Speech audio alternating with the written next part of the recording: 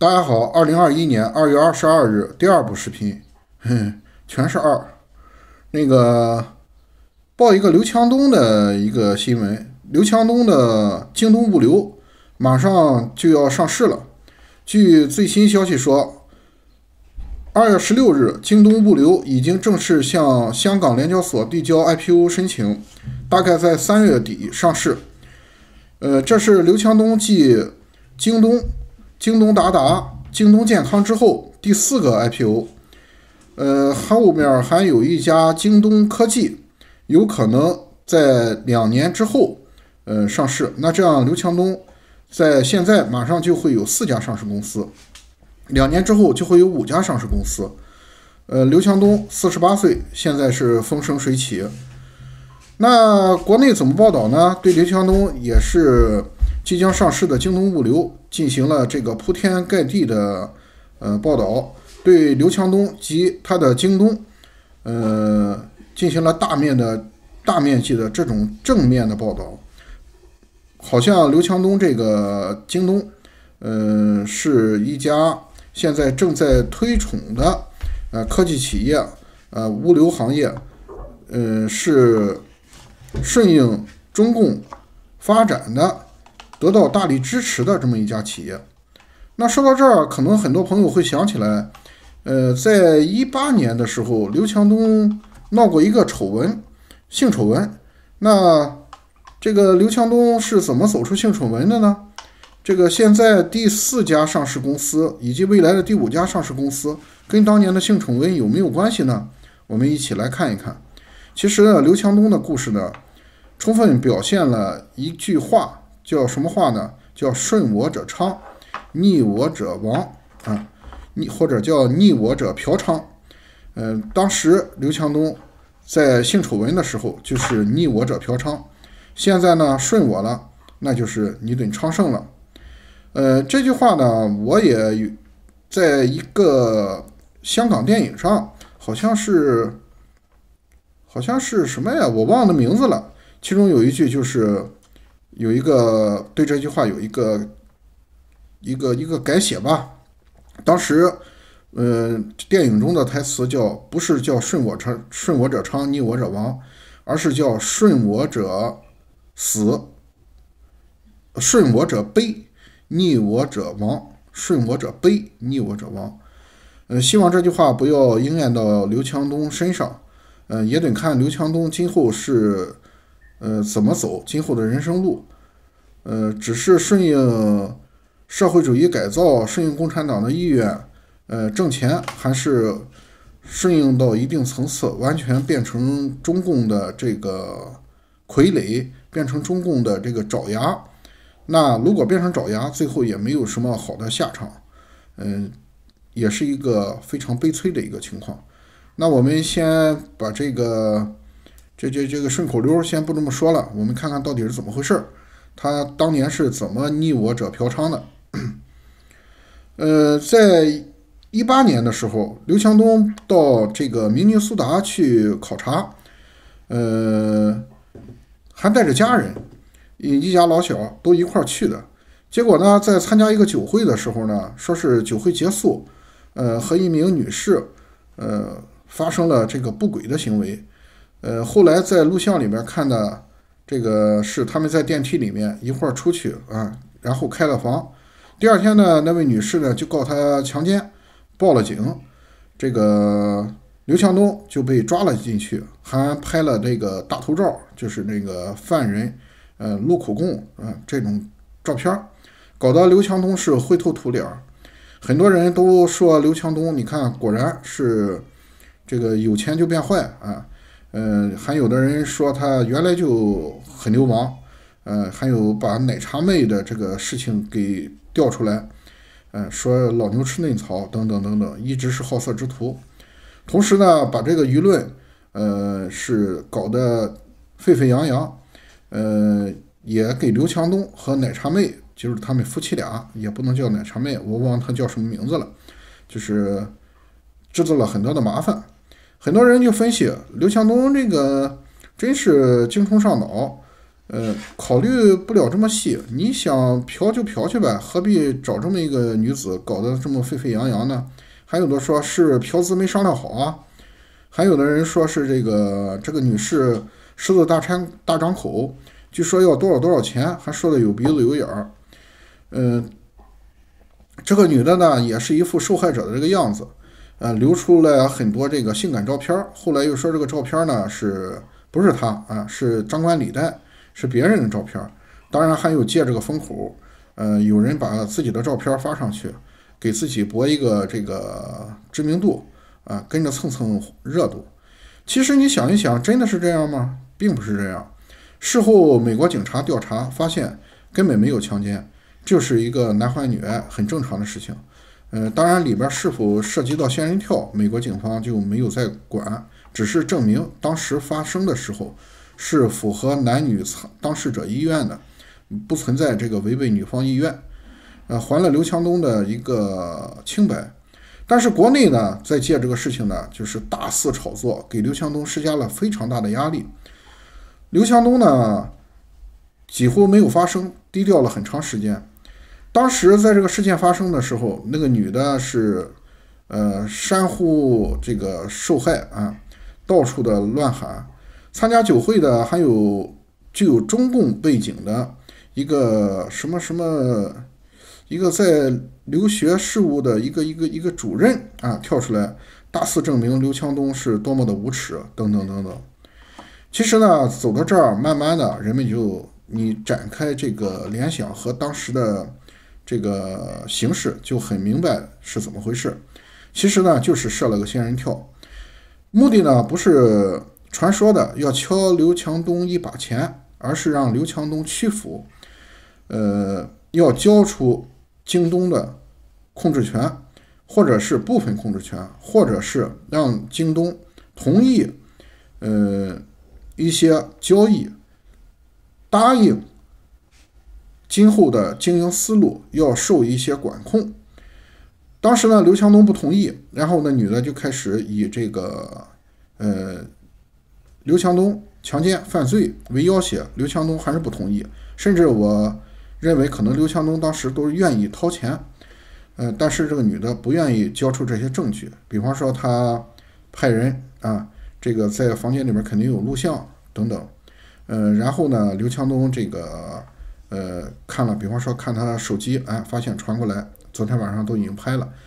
刘强东想以钱摆平，不愿意付出这个刘青呃对京东这个未来的这种把控，呃，以及不愿意做某些事情。这个女的不同意，因为这个女的来就不是要弄钱的，而是奉组织的命令，就是为了要挟刘强东要去政府部门谈话，要交出什么什么权利的。结果呢？不同意，不同意，闹到警局。刘强东呢？虽然被美国警方还了清白，因为美国警方也看了电梯里的录像，明显呢是那个女的在勾引刘强东。事后参加酒局的有些人也很明白，呃，说出了刘强东坐在那里，呃，应该他左右相互陪伴的人，应该是能和他说上话的，应该是。大家有共同话题的地位差不多的人，却没想到安排了一个默默无闻的一个普通的在那的留学女生，这明显也不符合。而且在那个酒局上，很多人刻意的让他去喝酒，让他这个处于一个醉酒状态。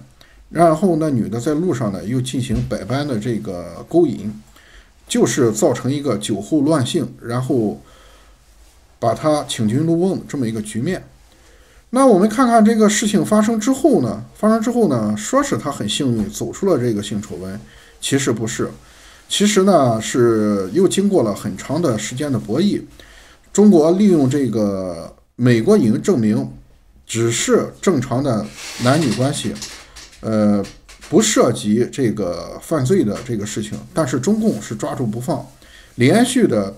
展开对京东、对刘强东的打击，政治压力、经济压力，包括展开了对他的这个融资、对他这个过去的这个企业发展、呃税务等等各方面的调查，以及呃，通过舆论大肆搞臭他，呃，对他口诛笔伐，展开全部宣传攻击，进行这个人身这种攻击，对他的家庭造成了非常大的困惑和压力。呃，我们现在就可以看出来，成果斐然。后来刘强东屈服了，把这个 党的组织请进了公司，先后捧起了三个人进行分权。持续的辞去了京东旗下十五家公司的职务，呃，包括京东健康、京东云以及京东物流等等等等，也主要就是包括这几家上市公司的这个控制权，捧起来了三个三个人吧。这三个人呢，好像说是这个权力都是分分化给这三个人，其实这三个人呢，就是权力博弈的一个结果。这三个人以后不仅向刘强东汇报，也向上面的党组织进行汇报，也更听这个党国的话。同时，在这个物流里面呢，更是直接把这个党组织的一个这个叫什么来？这个人叫什么？我忘了啊。啊，当时让出的这三个让让出的这个三个管理权的这三个人是王振辉、陈生强。呃，徐磊虽然都出身于京东，但是呢，刘强东的个人风格呢，是我掌控一切，这是我的帝国。现在呢，被迫让给这三个人，这三个人呢，其实呢，就是逼迫刘强东这个分化权力。而这三个人呢，不仅要听刘强东的，也要听听政府的。后来呢，他在嗯。即将上市的，也就是马上就要上市的京东物流，嗯，是由谁来管理呢？是好像是由直接由党委派过来的，就是共产党党委派过来的一个一个书记啊，叫于瑞维啊，于瑞维，直接由这个党派的书记来监管，来掌控这个物流。所以呢，这个刘强东的这个变化呢，也可以看出来，辞去大量的职务，呃，分权给三个内部的人士，这三个人既向他汇报，也向政府汇报。第三、第四家公司直接由党的书记来进行管理，也就是说，等于是前前后后设了一个局儿，呃，把刘强东引入一个性丑闻，因为刘强东确实个人还是挺正派的，想不出什么办法来进对他进行这种打压。那就是就像当年这个黄海波吧啊一样，是一个性丑闻，就像这个许章润一样啊，跑到外地去嫖娼啊，就是用这种东西来搞臭你，既是犯罪，又让你这个声名扫地、声名狼藉，呃，用这种手段搞臭你，美国警方还了你清白也白搭，中国还会继续搞、继续臭。呃，反正是黄泥巴抹在你裤裆里，不是屎也是屎，让你臭名远扬。然后展开全面的系列的压制，呃，对过去的你的经营、税务以及你资金来源，持续的不断的在进行这种，呃，叫做什么呢？叫做呃恶意的这种攻击，最后就。承受各种压力之后，刘强东也是承受不住的。你像企业经营也有事，工商税务、银行也收贷等等等等，都来找你，那你怎么干？